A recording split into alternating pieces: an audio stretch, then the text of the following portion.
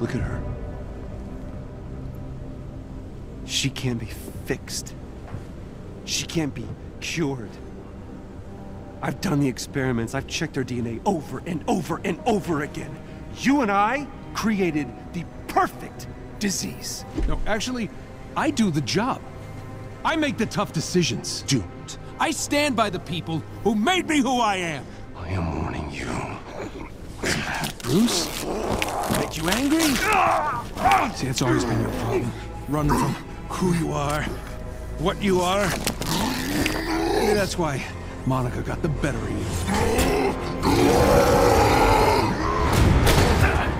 I was just agreeing with you, big guy. That banner is a coward. Guys, don't do this! This is exactly what Tarleton wants! I'd stay out of this one, kid.